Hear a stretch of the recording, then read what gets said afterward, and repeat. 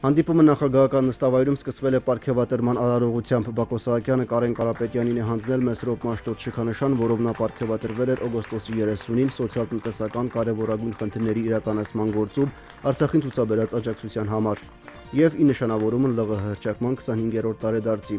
Նախագահ Սահակյանը մեկ անգամ եւս շնորհավորել է Կարեն Կարապետյանին Հայաստանի Հանրապետության կառավարության ղեկավարի պաշտոնում նշանակվելու կապակցությամբ, մաղթել հաջողություններ եւ հույս հայտնել, որ նրա վարչապետության օրոք կշարունակի հետևողականորեն զարգանալ ու ընդլայնվել Հայաստանի Հանրապետության եւ Լեռնային Ղարաբաղի Հանրապետության բարձր մակարդակի վրա գտնվող տնտեսական համագործակցությունը։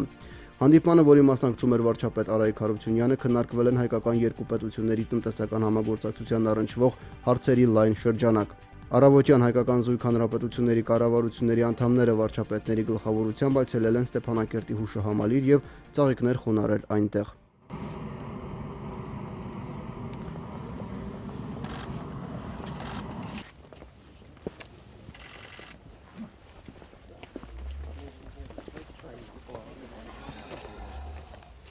Այնուհետև կառավարությունների ղեկավարների մասնակցությամբ հրավիրվել է աշխատանքային խորհրդակցություն քննարկելու գործադիր մարմինների միջև համագործակցության հիմնական ուղղություններն ու խնդիրները։ Արայիկ Հարությունյանը Արցախի իշխանությունների անունից շնորհավորել է Կարեն Կարապետյանին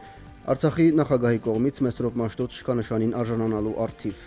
Հանրապետության վարչապետը հաջողություններ է մաղթել Կարեն Կարապետյանին նոր պաշտոնը ստանձնելու կապակցությամբ։ Շնորհակալություն հայտնելով շնորհավորանքների եւ ջերմ ընդունելության համար Հայաստանի Հանրապետության վարչապետը նշել է, որ իրեն պարտավորված է զգում եւ գործնական է տրամադրված երկու կառավարությունների միջև համագործակցությունն էլ ավելի խորացնելու եւ փորձի փոխանակումն ընդլայնելու գործում։ Կարեն Կարապետյանն ընդգծել է, որ Արցախի Հանրապետության վարչապետի հետ գաղափարակիցներն եւ տնտեսության զարգացման պատկերացումները նույնն են։ Ոստի ակնկալում է առավելագույն արդյունավետ աշխատանք արկախնդիրների վերհանման եւ քննարկման ժամանակ, ինչպես նաեւ հետագա համագործակցության ընթացքում դրանց լուծումներ գտնելու գործում։ Այնուհետև Արցախի Հանրապետության էկոնոմիկայի նախարար Անդրանիկ Խաչատրյանը ներկայացրել է 2007-2015 թվականների ընթացքում տնտեսության զարգացման ծրագրերի վերաբերյալ հաշվետվություն անդրադառնալով տարբեր ոլորտների զարգացման գործիքակազմերին եւ խնդիրներին։ Կարեն Կարապետյանը տպավորիչ եւ օրինակելի համարելով ներկայացված մակրո ցուցանիշները ներկաների ուշադրությունը հրավիրել է հատկապես էներգետիկայի եւ զբոսաշրջության ոլորտների զարգացումը խթանող նոր գործիքների մշակման անհրաժեշտության վրա։ Արցախի ներդրումային եւ գյուղի եւ գյուղատնտեսության աջակցության հիմնադրամի տնօրենները ներկայացրել են իրենց ղեկավարած կառույցների գործառույթներն ու ցուցանիշները։ Արայք Հարությունյանն էլ ներդրումային եւ գյուղատնտեսական ծրագրերի ուղղությամբ կառավարության քաղաքականության հիմնական տրամաբանությունը կառավարությունը։ Վարչապետը պատրաստակամություն է հայտնել Արցախի Հանրապետության կառավարության կൂട്ടակած փորձով կիսվել Հայաստանի Հանրապետության գործընկերների հետ։ Կարեն Կարապետյանն իր դրական տպավորությունն է արտահայտել հիմնադրամների գործունեության ու կիրառվող գործիքակազմի վերաբերյալ եւ հանձնարարել Հայաստանի Հանրապետության համապատասխան պաշտոնյաներին փորձի փոխանակման միջոցով քայլեր ձեռնարկել Հայաստանի Հանրապետությունում եւս նմանատիպ կառույցներ հիմնելու եւ գործունեություն ծավալելու ուղղությամբ։ Խորհրդակցության ընթացքում կողմերն առաջ են քաշել կոնկրետ առաջարկներ եւ ձեռք բերել փոխադարձ պայմանավորվածություններ դրանց կյանքի կոչման ուղղությամբ։ Հանդիպման ավարտին կառավարությունների ղեկավարները տվել են համապատասխան հանձնարարականներ վերհանված խնդիրների արդյունավետ լուծման նպատակով։ Վերջում երկու կառավարությունների ղեկավարների գլխավորությամբ առանձին խորհրդակցություն է տեղի ունեցել էներգետիկայի ոլորտում համագործակցության կոնկրետ ծրագրերի շուրջ։ Կողմերը ձեռք են բերել պայմանավորվածություններ հետագա անելիքների վերաբերյալ։ Սամվել Բալայան, Մերժոն Հայրապետյան, Հայկ Բաբայան, օր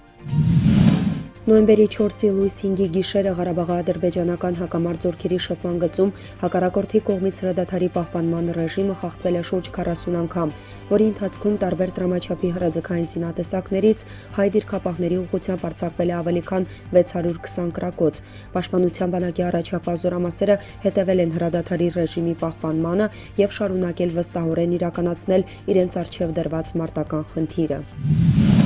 ինչ հետևություններ ենք կատարել ապրիլյան պատերազմից, որքանով են արդյունավետ գործում վերջին ամիսներին առաջնագծում ներդրված նորույթները, ինչ բարեփոխումներ են նախատեսվում Արցախի խորհրդարանի պաշտպանության, անվտանգության եւ օրինապահպանության հարցերի եւ Հայաստանի Հանրապետության ազգային ժողովի պաշտպանության, ազգային անվտանգության եւ ներքին գործերի մշտական հանձնաժողովների անդամների հանդիպումը առաջնագծի հարևանությամբ էր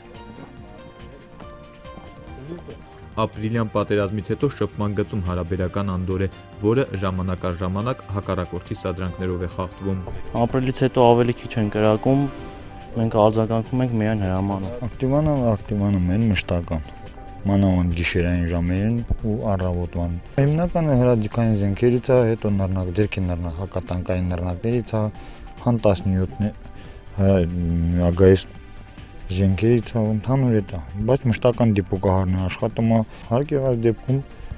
պատասխանը տրվում է։ Գորյուն Նահապետյանն ապրիլյան պատերազմից հետո հերթական անգամ է առաջնագծում եւ իր եւ հանձնաժողովականների համար այս այցը կարեւոր է համարում նրանով, որ տպավորություններն արտացոլվելու են բյուջե 2017-ի քննարկումներում։ Եվ այդ իմաստով ուզում եմ առանձնակի կարևորել այս այցը, որովհետեւ այս դիտարկումները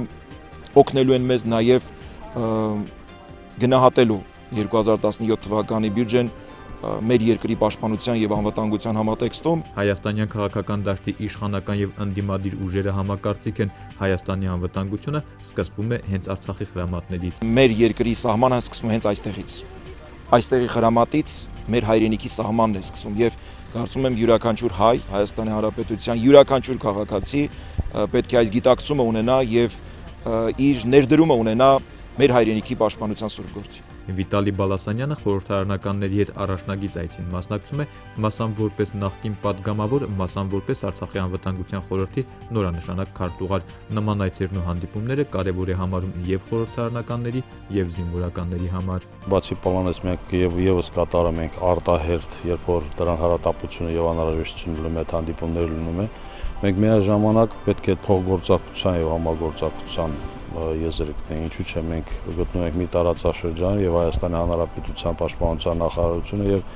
Ղարաբաղի պաշտպանության նախարարությունը կատարում է նույն առաքելությունը։ Հայաստանի Հանրապետության ազգային ժողովի պաշտպանության, ազգային անվտանգության եւ ներքին գործերի մշտական հանձնաժողովի պատվիրակության աշխատանքային այցն Արցախ կավարտվի նոյեմբերի 6-ին։ Նախատեսվում են հանդիպումներ բարձրաստիճան պաշտոնյաների եւ համատեղնիստ Արցախի խորհրդանի գործընկեր հանձնաժողովի հետ։ Նորայր Հովսեփյան, Բենյամին Ղարախանյան, օր